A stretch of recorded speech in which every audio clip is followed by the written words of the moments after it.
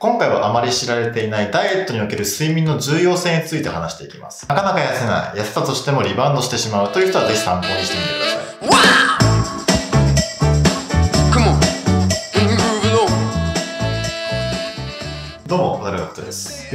様々なダイエット方法がそれこそ星の数ほどありますが、ダイエットに成功して実際に綺麗な体型になれる人っていうのは意外と多くありません。皆さんはなぜこんなにたくさんの人がダイエットに失敗すると思いますか？ご飯を食べ過ぎたから、運動不足だから。どちらも間違いではないんですが、不正解です。正解は睡眠不足だからです。今回はあまり知られていないダイエットにおける睡眠の重要性について話していきます。なかなか痩せない、痩せたとしてもリバウンドしてしまうという人はぜひ参考にしてみてください。では早速僕がダイエットで睡眠が重要だと考えている理由を話していきたいと思います。理由はとてもシンプルで、それは睡眠が最も効果があるストレス解消方法だからです。ダイエットで食事と運動はもちろん大切。カロリーを抑えてタンパク質を取って筋トレをする。これが王道のダイエット方法です。でもこれをいくら言っても痩せない人って本当に多いんですよね。それはみんな仕事で抱えたストレスを解消するためにお菓子を食べたり休みの日に一日ベッドの上で過ごしたりお酒を飲んでどんちゃん騒ぎをするからです要は正しいダイエット方法は知っているけどストレスのせいで正しい行動ができなくなるんですよ。だからダイエットではとにかく日々のストレスを解消することがすごい大事。それをしないでダイエットを始めてもまず痩せません。たとえ痩せたとしてもストレスでまたすぐにリバウンドします。ダイエット方法を知ってるだけじゃ意味ないんですよ。痩せるためには行動に移す必要がある。正しい知識を行動に移すためために。まずは質の高い睡眠でストレスを解消しましょ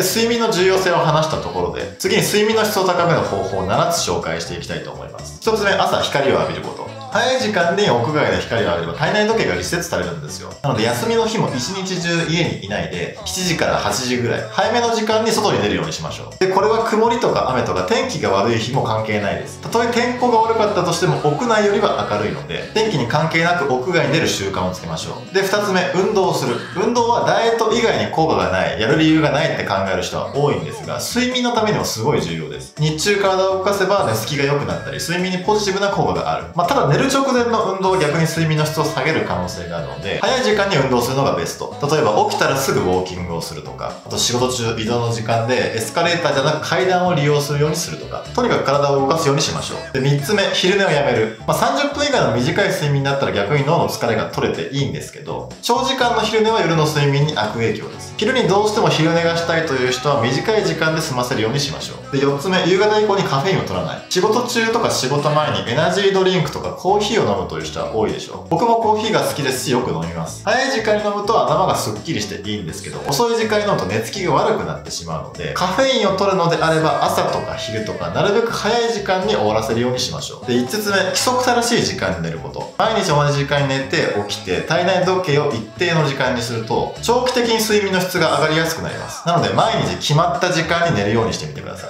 い。よく土日に平日寝れなかった分寝だめしようとする人がいるんですけどそれ意味ないです。というか逆効果です。土日に寝すぎたせいで体内時計が狂ってでそのせいで平日の睡眠の質が下がってまた土日で体内時計が狂う。この悪循環に入るんですよ。なので平日のために土日も早く起きるようにしましょう。で6つ目寝る前に PC スマホをいじらない。寝る直前まで電子機器をいじってると睡眠の質が下がります。なのでベッドに入ったら PC スマホはいじらないこと。近くにも置かない。それだと退屈してしまうって人がいると思うんですけどその場合は代わりに本を読むことをお勧めします。本は電子機器ではないので睡眠の質は下がりづらいで7つ目これが一番大きいです。お酒をやめること。お酒は睡眠の質を極端に下げるので深く眠りたい人は絶対にやめるべき。よく仕事のストレスでお酒を飲まないとやってられないっていう人がいるんですがそれ逆です。お酒はストレスを増やす飲み物なんですよ。お酒でストレス解消したいっていうのは長生きしたいと言いながら頭に拳銃突きつけるようなものなんですよ。本当にストレスを解消したいのであればお酒をやめるようにしてみてください。多くの人って痩せるために食事と運動だけ考えがちなんですよね。まあそれ自体は間違いじゃないしやらなきゃいけないことではあるんですけどそれ以上に質の高い睡眠を確保することが大切なんです。